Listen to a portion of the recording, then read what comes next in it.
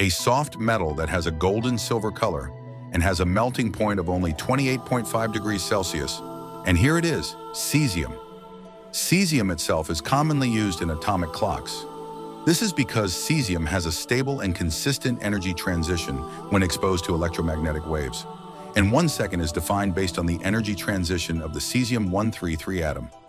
The atomic clock itself is the most accurate and precise clock in the world. In addition, cesium is commonly used in photoelectric and electronic devices, and cesium-137 has been used in radiotherapy to treat cancer. Cesium itself is a fairly rare alkali metal because its existence is not found in free form in nature, and cesium itself is commonly called sky blue because when heated, this metal will emit a bright sky blue spectrum line. Although in its metallic form, cesium is golden in color, and sky blue itself refers to the nature of its emission spectrum, not to its physical appearance.